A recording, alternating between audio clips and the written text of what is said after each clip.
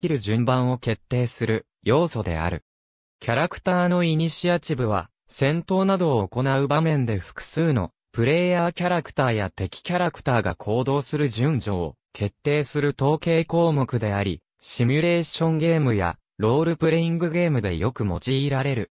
イニシアチブの数値が大きいほど早く行動できるシステムもあれば、小さいほど早く行動できるシステムもある。また、この順序が戦闘終了まで同じであるシステムもあれば、戦闘のターンごとに順序を決定し直すシステムもある。イニシアチブは、値の確定までに、様々な方法で補正が加わったり、再計算が行われたりする。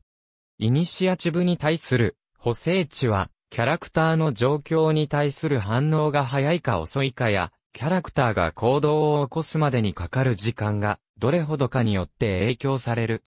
例えば、高い敏捷性を持つキャラクターは、他より早く反応でき、重い道具や武器を使っているキャラクターは反応までに時間がかかることになる。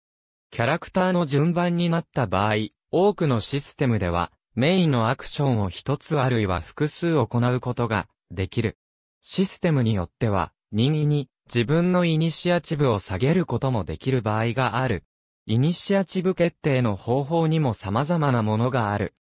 自軍と敵軍が互いにサイコロを振って行動順を決定するのが一般的であるが、ボードゲームやウォーゲームでは行動順が書かれたチットを中身を見ずに引いて決定するものもある。テーブルトーク RPG の場合、簡略化のために、キャラクターの固定された、敏捷性や行動値をもとに、イニシアチブが変化しないシステムも多く見られる。コンピューターゲームのボードゲームや、ウォーゲームの場合、常に、プレイヤーが先に行動できるようにデザインされているものが多い。ありがとうございます。